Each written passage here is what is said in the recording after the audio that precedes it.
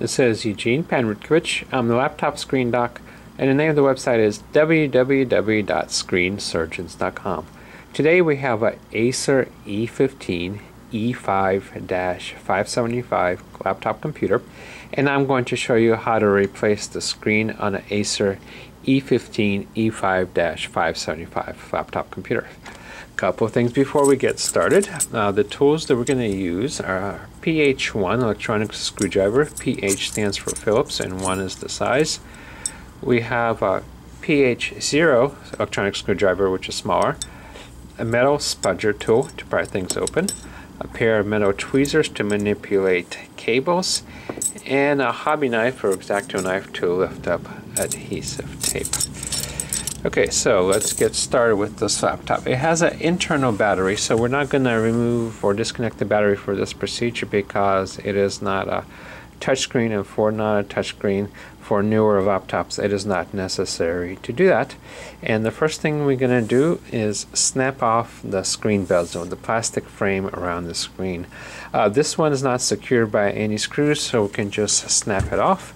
And to do that, we put our fingertips or fingernails on the screen side and snap the bezel up and outward. Just uh, take the bezel up and outward and go around the screen assembly doing that.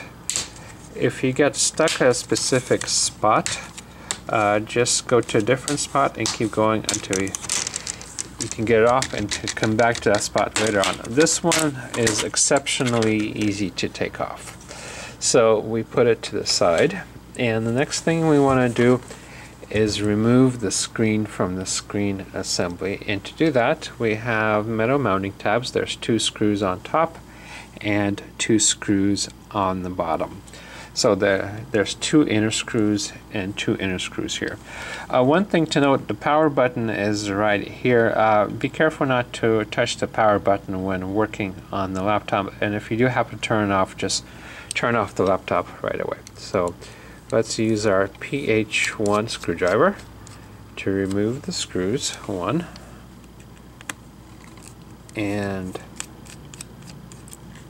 two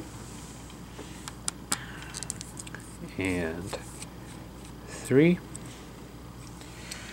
and four.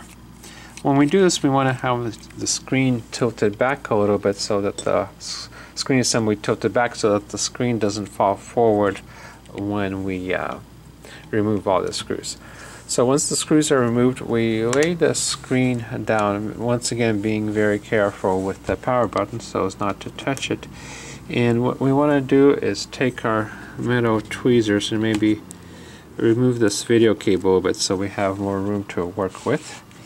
And what we have to do next is disconnect this connector right here. And to do that, we use our hobby knife or X-Acto knife. Lift up the adhesive tape carefully. And then grabbing the connector with both our fingers on the back, just slide the connector out like so. I'm going to show you how to reconnect it so it's properly connected. You slide it back in and you'll feel but not hear too quick. So let's get a close-up of the connection there should not be a gap in the seam between the two sides of the connection. The two sides of the connection should be flush with each other. Okay, so let's disconnect it again and take a look at this screen. This is a 15.6 inch EDP Full HD screen. And uh, for this particular one has a matte finish. So they come in both matte and glossy finish and if you specifically like one type or the other, so you need to request that when ordering. The part number for this particular screen is N156 HGE-EAL. Uh, when you do get your new screen in, uh, it might have a different part number, but it should be compatible. The connector is on the lower right hand side and it should be a 30 pin connector instead of the older 40 pin connector. And the mounting tabs should also line up.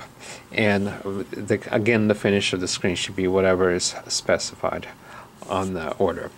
Okay, you can order this screen from us, from Screen Surgeons, and what you get with us is this toolkit that I showed you in this video. It comes for free with the screen to help you install it. We're shipped for free in the United States and we can ship to most places around the world. Just specify your country during the checkout procedure. And we have a two-year warranty and free email technical support. Okay, when you do get your new screen, uh, reconnect it like I showed you, and then mount the screen in the screen assembly. Put the two screws in at the top and two screws in at the bottom and then snap the screen bezel back on and that should be it. This is a very simple procedure and you should be able to do it quickly with no problems. Okay, uh, thank you very much. Once again, my name is Eugene Panrutkovich. I'm the laptop screen doc and the name of the website is www.screensurgeons.com. Thank you very much and good luck.